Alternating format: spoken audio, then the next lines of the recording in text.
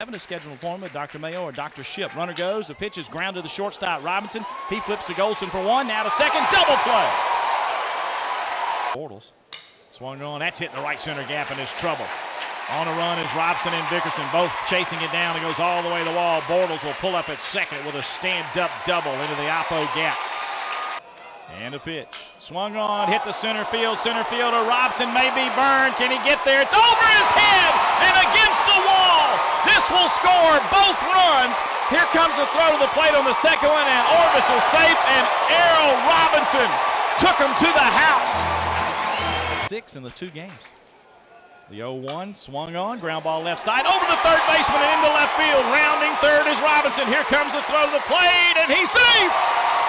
And to second base goes Perkins, and over to third comes Robinson. Nick Perkins with his second RBI of the season, and Ole Miss leads three to nothing. Singles and two RBIs, hit a home run in the second game. This one's hit up the middle, off the glove of Laster, picked up by the second baseman. He'll throw. He made it look close because Orvis is not real, real fast. One hop scoop by Wes Rea, but not in time. Orvis is going to reach on a base hit. Game one of the three game series. The 2 0 swung on, fly ball, left field. That may be trouble for Humphreys. He's burned!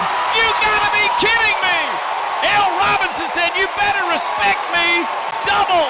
Rebels lead 4 3 as Watson steps on the plate. Checks a runner and fires. Breaking ball grounded toward Robinson. He'll glove, flip to second. That's it as Kyle Watson playing second base takes the throw, and the Ole Miss Rebels have knocked off the Bulldogs in game one, four to three. And that's the way this is going to be for the next two days. What a series we're in for. Yeah, boy, both teams have the big three-run innings. The Rebels get the big run in the eighth, and boy, that was an excellent, excellent ball game and one the Rebels needed to get. Okay.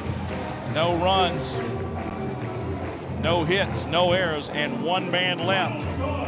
As Ole Miss wins by a final score of four to three. And Ole Miss improves to 26 and 24 on the year, 12 and 13 in the SEC.